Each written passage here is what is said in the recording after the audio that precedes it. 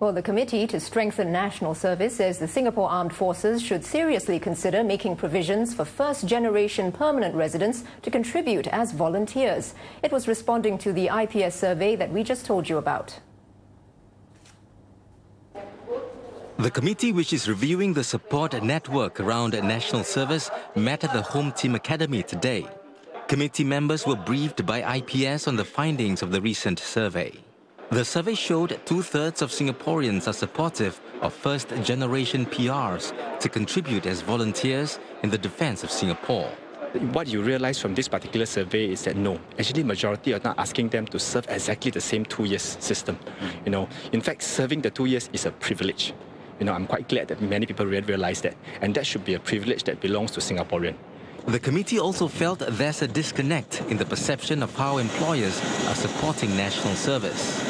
The IPS survey showed that more than four out of five servicemen say employers are supportive of their in-camp training. However, two out of five servicemen pointed out that employers prefer to hire people who do not have NS commitments. I think sometimes, uh, depending on individual companies, they might choose to have preference over others who actually pose less of a challenge in terms of their work arrangement. So I, I find that it's not hard to accept.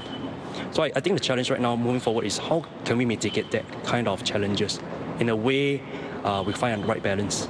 The committee said more engagement with employers is needed to get a better buy-in from them on national service. The key thing is to look at what their concerns are and how to encourage more employers to be NS friendly.